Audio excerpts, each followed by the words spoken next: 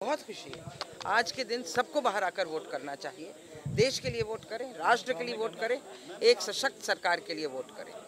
भाई क्वेश्चन कि कितना मार्जिन अब की बार आप देख रहे हैं? वो तो अब बाद में पता चलेगा लेकिन मार्जिन बढ़ेगा। बहुत भारी बहुमत साहब ये कह रहे हैं कि मोदी फैक्टर जो है वो चंडीगढ़ में काम नहीं करेगा। बंसल फैक्टर भी नहीं काम किया था पिछली बार इस बार भी नहीं करेगा। जीत के प्रति कितने आश्वस्त हैं? 500 percent Uh, Kiran, how do you see uh, Congress and uh, AAP uh, not coming together uh, being a major factor? Because you know, anti-incumbency votes uh, will I be don't think divided so. into. I don't think there is any anti-incumbency. With the Modi Sarkar and the work that I have put in here, there is a pro-incumbency. There is no anti-incumbency. Every time anti-incumbency हो ज़रूरी नहीं होता pro-incumbency है वो साथ आए ना आए वो उनकी कहानी है हमें नहीं ज़रूरत है किसी के साथ आने की हम अपने आप में सक्षम हैं। Work second time I voted for cooperation also.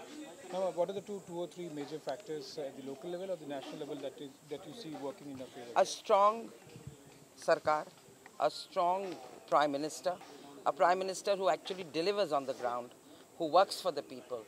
He doesn't, um, you know, there's a Mahamilawat the other side. Nobody knows who's in line for what, who's pulling whose leg, who wants to be PM, who doesn't want to be PM. There's only one person everybody's voting for who has brought the country into the levels of international uh, standing, whether it's economy or whether it's uh, international relations, who's proved that he is a very, very um, uh, strong, uh, decisive prime minister who's put in, into onto the field schemes for the poor, schemes for the middle class, schemes for everybody in India. So, Sabka Saath, Sabka Vikas is true only of Mr. Modi Sarkar, not anybody else. It's not vote bank Vikas. सबका विकास ma'am आपका एक video बड़ा viral हो रहा है मुक्के वाला और पवन बंसल आज कह रहे हैं कि अब तो वो जहाँ भी आपको देखेंगे वहाँ सलाम करके दूर से ही निकल जाएंगे पास अच्छी नहीं बात है पहले ही ये सोच लेना चाहिए थैंक यू